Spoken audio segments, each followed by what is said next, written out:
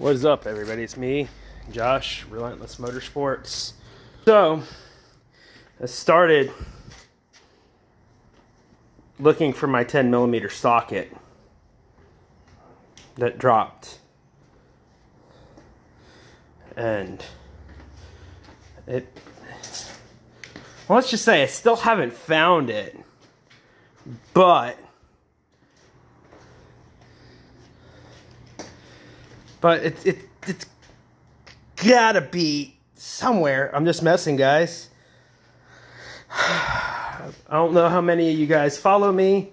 You guys have known my original dash is severely warped. That's common. The cracks in the top area here where the gauge cluster went, this, as you guys can see, is warped. So, I had a guy who was originally a customer like you guys of mine who we just, I don't know, we're both ex machinists, we're both Supra owners, we're both car geeks, both enthusiasts. He owns a pretty badass Celica as well, a uh, GT4 Celica, uh, JDM All-Trac, or GT4. Um, get this, just crazy. I'm going to pull in the heater core and all this. I got a new foam kit from a guy, I believe his name's Frankie. He makes them on the Supra forms. Had to drop steering column, all this out. Me and him worked pretty much all day yesterday. Tonight, me and my wife are ripping the carpets out. I'm going to buy some Rit dye and a spray bottle. Uh, and a like a like a mister bottle um and uh, I'm going to dye, not the floor mats. Those floor mats are worth a fortune. Mine are in really good shape. That's just lint and on it from the dash. Um, I'm going to dye these carpets black. There's a company in Australia that makes a pretty, pretty bad to the bone OEM carpet replacement. Not replacement, but rug replacement, or uh, floor mats that are black. So the whole interior is going to be black and carbon fiber and I pulled my carbon fiber rear seat delete out just because it's easier to work on the car. I don't have to worry about ruining it. Working on some interior structures in the back of the car. As you guys see, the car is pretty much gutted. Um, lots of updates are coming. This is something I've been wanting to do for uh, since I bought the car. Um, be seeing all the interior out is kind of giving me some OCD.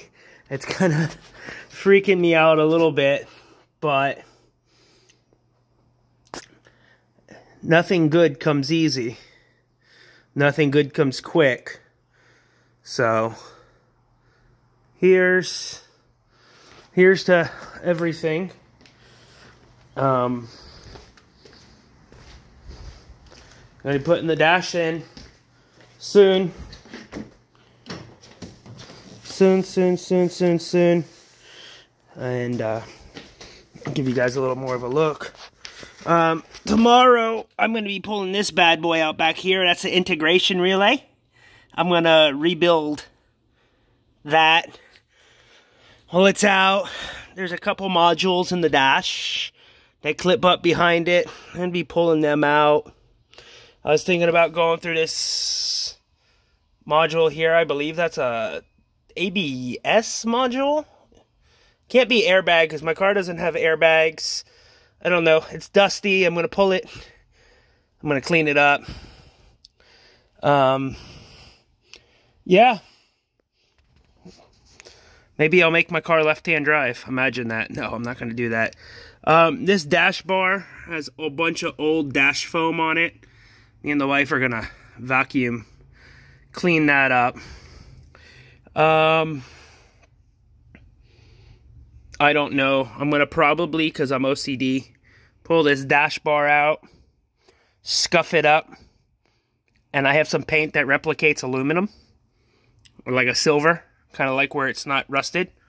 And uh, I'm going to probably just go ahead and uh, spray it, because, even though you'll never see it, pull the column out. I don't know. We'll see. It's just surface rust. Every car I've ever owned has had that, even the Corvette which the Corvette's a much newer car. It's a C7. It's got stuff like that. So here goes one of the biggest projects of this build since I've owned it. I got my SC300. Well, this is down. I get to drive that because I always have to drive a fun car. I got a daily driver. I don't drive it. I drive my I drive my race cars, project cars around. Um, I'll show you guys something. So, this is from TBT Carbon Factory. They're the awesome people in the Dominican Republic that made this backseat delete for me. This thing is incredible. I love it. It fits perfect. It's a great piece. It's really enhanced the vehicle aesthetically. And uh, I can't thank them enough. There's the name. Now, let's go look at my dash. So, this is a dash that came out of a Supra that had, I think it had like 15,000 original miles on it in Japan.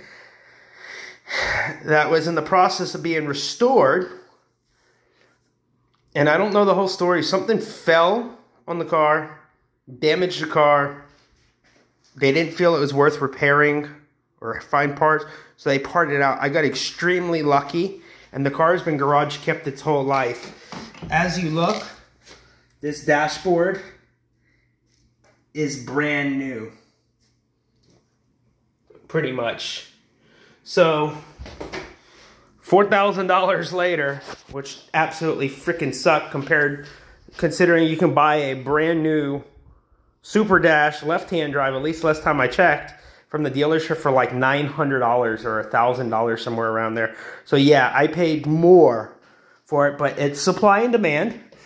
It's something, you know, I needed, I looked for. It's got a little bit of dirt here. It's just like glue. Maybe they had like a toll tag reader or something on it. Um, I'm going to clean that up. And uh, this was actually a Series 2 dash. And so I found out last night when me and my buddy Mike were playing with it because to get it here to the States, they had to dismantle the airbag. You can't have an airbag. So I didn't know. It's missing the bottom brackets to hold it. It looks like they broke it. I'm not sure. I thought this was going to be floppy.